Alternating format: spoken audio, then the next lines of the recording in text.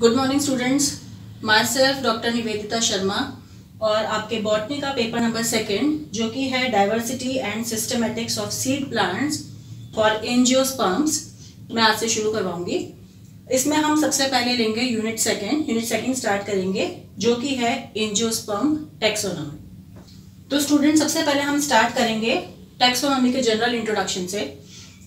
The term taxonomy जो शब्द है टेक्सोनॉमी इसका गठन सबसे पहले फ्रेंच बॉटनिस्ट जिनका नाम था ए पी डी कैंडोल ने अपनी बुक में ईयर 1813 में दिया था और उस बुक का नाम था theorie elementaire de la botanique जिसका इंग्लिश में नाम है थ्योरी ऑफ़ एलिमेंट्री बॉटनी अब अगर हम बात करते हैं डेफिनेशन ऑफ़ टेक्सोनॉमी की तो साइंटिस्ट थे जी एच एम लॉरेंस जिन्होंने ईयर 1951 में टेक्सोनॉमी को डिफाइन किया that taxonomy is the branch of science that deals with study of identification nomenclature and classification of plants यानी कि टेक्सोनॉमी साइंस की वो शाखा है, वो ब्रांच है जिसके अंदर हम प्लांट्स का आइडेंटिफिकेशन आइडेंटिफिकेशन मतलब पहचान नोमेनक्लेचर मतलब नामकरण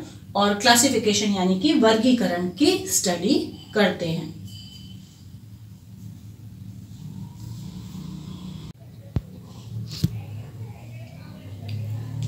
सो स्टूडेंट्स टेक्सोनॉमी की बात करने के बाद जो नया टर्म नेक्स्ट टर्म जिसको हम स्टडी करेंगे वो है systematics how can be define systematics systematic is the branch of botany systematics botany की वो शाखा है जिसके अंतर्गत हम प्लांट्स की टेक्सोनॉमी को टेक्सोनॉमी जैसे कि हम पहले पढ़ चुके हैं identification nomenclature and classification of plants की स्टडी करते हैं। उनकी डाइवर्सिटी की स्टडी करते हैं। डाइवर्सिटी मतलब पादपों की विविधता की स्टडी करते हैं और उनके इंटर रिलेशनशिप यानी कि उनके आपस में अंतर संबंधों की भी स्टडी करते हैं। यानी कि ये एक तरह से ब्रॉड टर्म है टेक्सोनॉमी के कंपैरिजन में।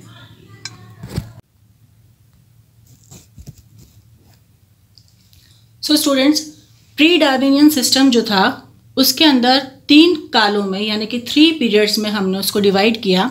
फ़र्स्ट पीरियड यानी कि प्रथम काल सेकेंड पीरियड यानी कि द्वितीय काल, और थर्ड पीरियड यानी कि तृतीय काल। फ़र्स्ट पीरियड या प्रथम काल के अंतर्गत प्लांट्स का क्लासिफिकेशन या वर्गीकरण जो था, वो उनकी प्रकृति के आधार पर, यानी कि उनकी हैबिट के आधार पर किया गया था।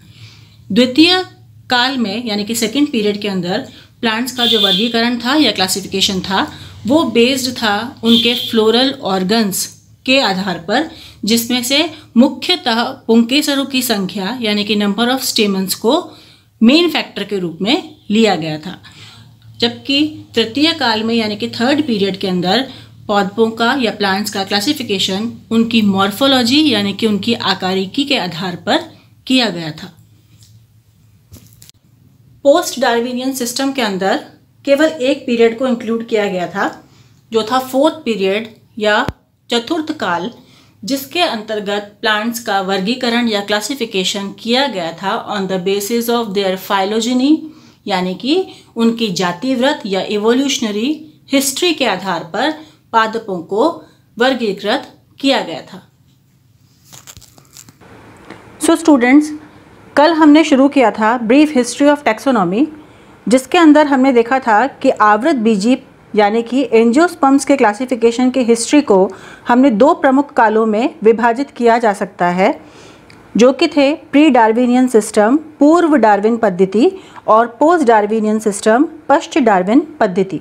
ठीक है? यह हम कल पढ़ चुके हैं और हमने देखा था कि प्री डार्विनियन सिस्टम को हमने तीन कालों में विभाजित किया था, प्रथम काल, द्वितीय काल और तृतीय काल।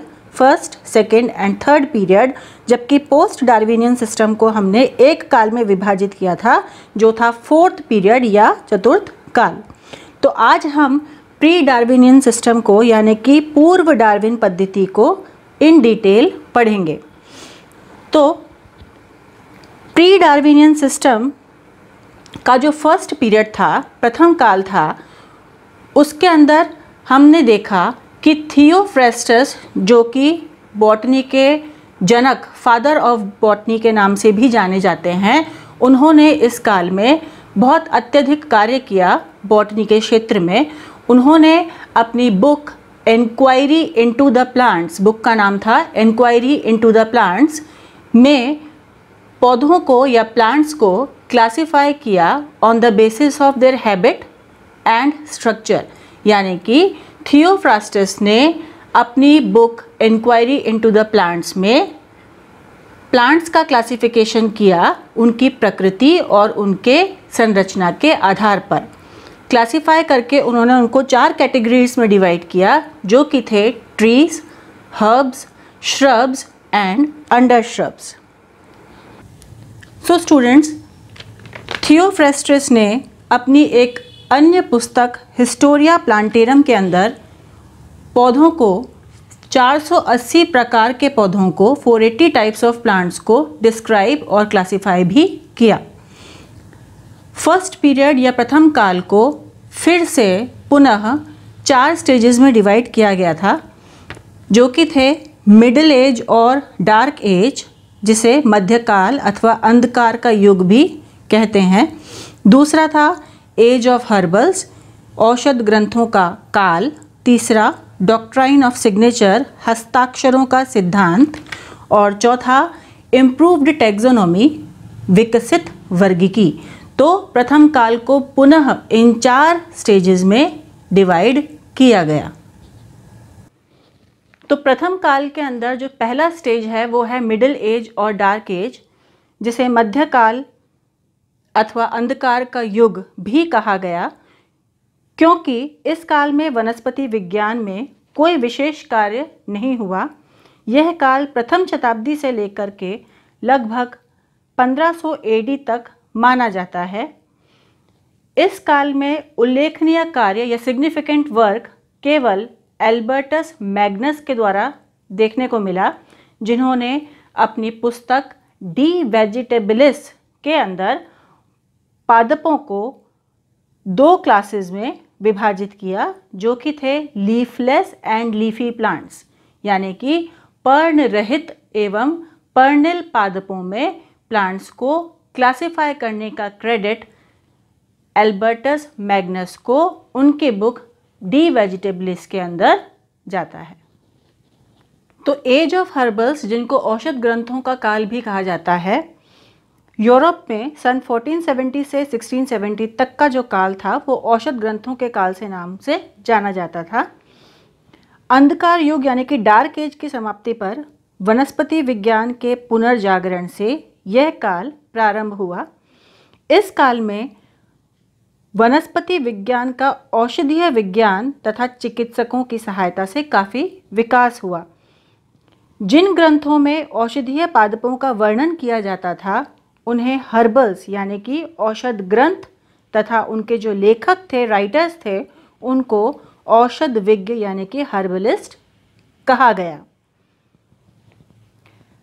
अगला जो हमारा नेक्स्ट स्टेज थी, वो थी डॉक्ट्राइन ऑफ़ सिग्नेचर यानी कि हस्ताक्षरों का सिद्धांत। मध्यकाल में मिडिल एज में, यह भ्रम था ये माइथ था ये माना जाता था कि ईश्वर ने प्रत्येक प्लांट पर, प्रत्येक पादप पर हस्ताक्षर, यानी कि सिग्नेचर मुद्रित किए हैं। तथा उस प्लांट की आकृति मानव शरीर के जिस अंग से, जिस ऑर्गन से मिलती जुलती होती थी, इस अंग के रोग के उपचार में उसे प्रयुक्त किया जाना चाहिए। ऐसा माइथ ऐसा बिलीव ऐसा माना जाता था उस काल में कि भगवान ने हर प्लांट के अंदर कोई ना कोई सिग्नेचर कोई ना कोई मुद्रा अंकित की है और वो सिग्नेचर जिस प्लांट से मिलता जुलता है, उसको उस डिज़ीज़ के, उस ऑर्गन की डिज़ीज़ के ट्रीटमेंट के लिए काम में लिया जाना चाहिए। उदाहरण के लिए, उन ब्रायोफाइट प्लांट्स जैसे मार्केंशिया प्लेजियोकाजमा, जिनकी आकृति लीवर से मिलती है, उन्हें लीवर वर्ड्स का नाम दिया गया। इनके प्रति यह झूठा विश्वास था कि इनसे लीवर के डिज़ीज़ का ट्रीटमेंट संभव है। इसी प्रकार, बादाम को आँख और अखरोट को मस्तिष्क के लिए भी उपयोगी बताया गया था। नेक्स्ट स्टेज इम्प्रूव्ड टैक्सोनॉमी विकसित वर्गीकी के अंदर जो उल्लेखनीय योगदान देने वाले साइंटिस्ट थे, उनमें प्रमुख थे एंड्रिया सीजल पिनो। इन्होंने डी प्लांटिस नामक ग्रंथ लिखा तथा पौधों को उनकी प्रकृति, यानी कि उनकी हैबिट के अनुसार वर्गीकृत किया, क्लासिफाई किया। उनके सम्मान में सीजल पीनिया नामक वंश का नाम भी रखा गया है। दूसरे जो साइंटिस्ट थे, जिन्होंने इस स्टेज में अपना योगदान दिया। वो थे जीन बोहिन। इन्होंने अपनी प्रसिद्ध पुस्तक हिस्टोरिया प्लांटेरम यूनिवर्सलिस में पाँच हज़ार प्लांट्स को उनके पर्यायवाची नामों के साथ, यानी कि उनके सिनोनिम्स सहित डिस्क्राइब किया। नेक्स्ट जो साइंटिस्ट थे, वो थे जॉन रे, जिन्होंने अपने दो प्रमुख पब्लिकेशंस इस काल में दिए। पहला जो मेन पब्लिकेशन इनका था, वो था हिस्टोरिया प्लांटेरम जो कि तीन भागों में थ्री पार्ट्स में पब्लिश्ड हुआ और दूसरा पब्लिकेशन था मैथडस प्लांटेरम जॉन रे के द्वारा जो क्लासिफाइड पद्धति दी गई, वो इस प्रकार से है। इन्होंने प्लांट्स को दो पार्ट्स में क्लासिफाई किया हर्ब्स एंड आर्बोर्ड्स शाक एवं काष्ठीय पादप। हर्ब्स को, यानी कि शाक को इन्होंने फिर से दो में क्लासिफाई किया इम्परफेक्ट प्लांट्स जो कि अपुष्पीय पादप कहलाते हैं एंड परफेक्ट प्लांट्स यानी कि सीड प्लांट्स जिन्हें बीजधारी पादप कहते हैं। सीड प्लांट्स को इन्होंने फिर से दो में क्लासिफाई किया मोनोकॉर्ड्स एंड डायकॉर्ड्स आर्बोर्ड्स यानी कि काष्ठीय पादपों को इन्होंने मोनोकॉर्ड्स एवं डायकॉर्ड्स में, यानी कि द्विबीजपत्री और एक बीजपत्री पादप में क्लासिफाई किया।